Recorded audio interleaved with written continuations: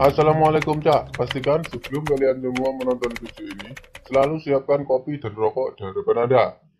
Kalau sudah, mari kita mulai saja videonya.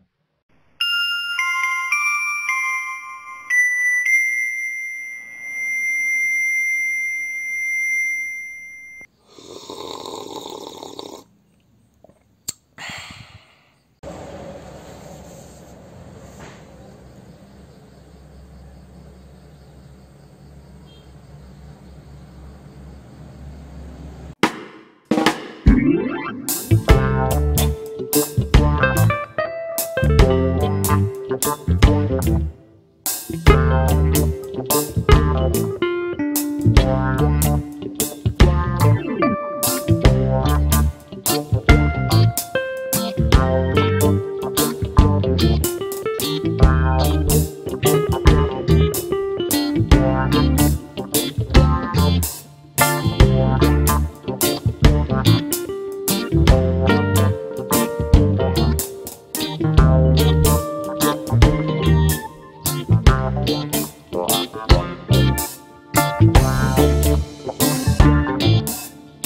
Música